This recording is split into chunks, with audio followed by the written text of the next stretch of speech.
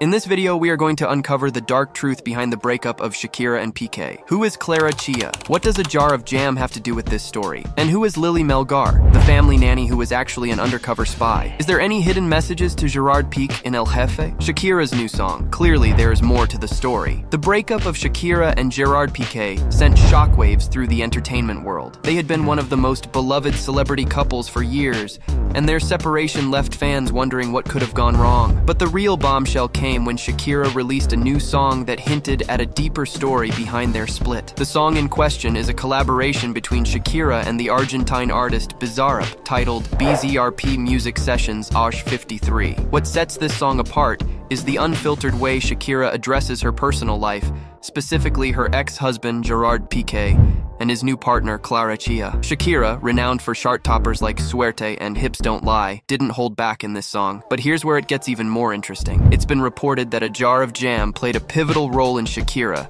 discovering Piqué's infidelity. Yes, you heard that right, a jar of jam. This theory resurfaced in the wake of the song's release, leaving many wondering why Shakira didn't reference this crucial element in her latest work. Several weeks ago, various media outlets reported that this jar of jam was the unsuspecting whistleblower of Piqué's affair. You might be wondering, how does a jar of jam expose an affair? Well, let's dive into this curious story. Shakira returned home after she had been away on tour. As they settled back into their routine, Shakira noticed something odd. Well, to be fair, Lily Melgar, the family nanny, noticed, and she told Shakira that the jar of jam they had was empty. What makes this strange is that neither Gerard nor their children particularly liked jam. In a revealing interview with a British television channel, Shakira herself confirmed this peculiar discovery. Piqué doesn't like ham. Who is eating the jam? In that interview, she was asked about the inspiration behind her song Te Felicito, a track she collaborated on with Rauw Alejandro, which was the first of a trilogy of songs dedicated to Piqué and Clara Chia,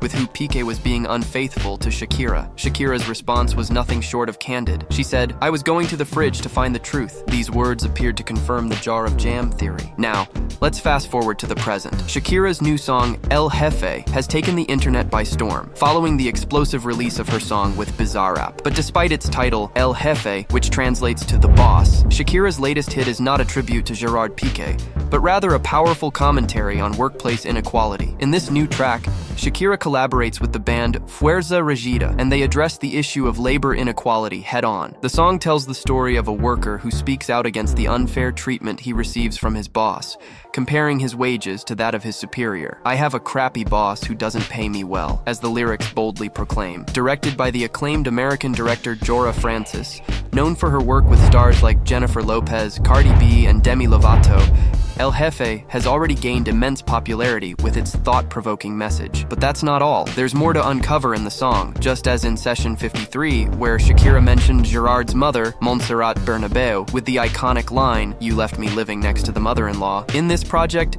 she takes a pointed jab at Joan Piqué with the revealing line, they say there's no evil that lasts more than a hundred years, but my ex-father-in-law is still not in the grave. But the intrigue doesn't stop there. The song's lyrics hold another explosive revelation, one that concerns the caregiver of Shakira's children. When Shakira sings Lily Melgar, this song is for you, they didn't pay you the compensation, she specifically mentions Lily Melgar. Lily Melgar played a significant role in the lives of Shakira's children, and her relationship with Shakira was very close. In fact, various media outlets have suggested that it was the Bolivian employee while living in Barcelona, informed the Monotonia singer about Gerard Piqué's infidelities. So make sure you stay tuned for more updates on this intriguing saga.